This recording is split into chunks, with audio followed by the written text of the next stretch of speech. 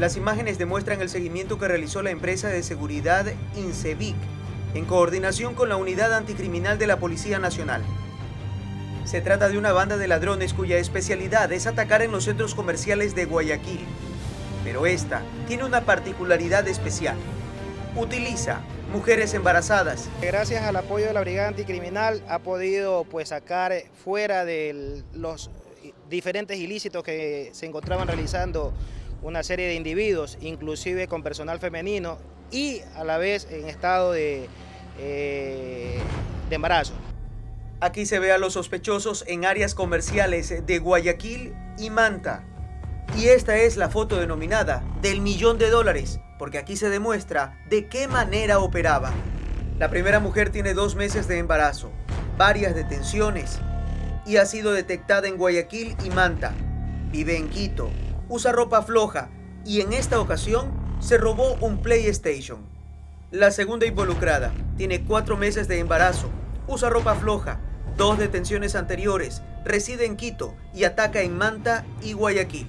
En esta ocasión también se llevó un PlayStation.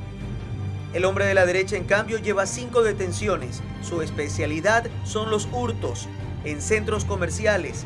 Distrae a empleados. En esa ocasión compró una muñeca la más barata. La cuarta involucrada distrae a los empleados y supervisores. Aquí se la ve obstaculizando, impidiendo la visión hacia sus compinches.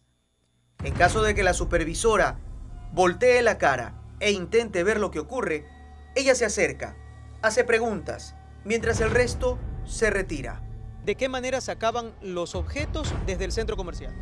Procedían a distraer al personal que se encontraba en las áreas de caja, los supervisores inclusive de, ciertas áreas. Entonces, a través de justamente estas personas en estado de embarazo que distraían, repito, y era el modo operando de, ellos. Pues, ¿Cómo escondían los objetos robados? Eh, hacían una supuesta compra en fundas grandes y dejaban el bien comprado realmente súper económico y procedían a esconder los objetos más valiosos. A las embarazadas se las debió liberar. El sospechoso sigue detenido y la cuarta persona logró huir. Información que se pone a consideración de todos los centros comerciales en Guayaquil para que estén atentos y se protejan. Abraham Ceballos, Noticiero 1.